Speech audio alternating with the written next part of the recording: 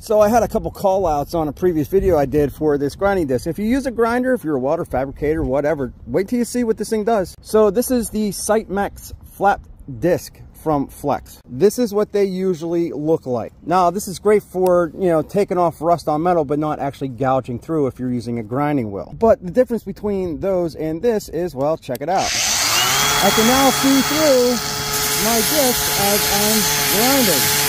Now, this is great if you don't want to grind down through a well. See that right there? However, people were saying in the comment section, well, do it on a on an edge. See how good it is then. All right, well, I've done it a couple times, but let me show you. Here's an edge. Don't get any nastier than this. Do it again.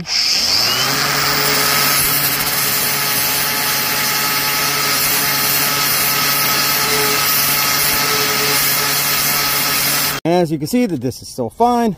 And that, my friends, well, that's real nice.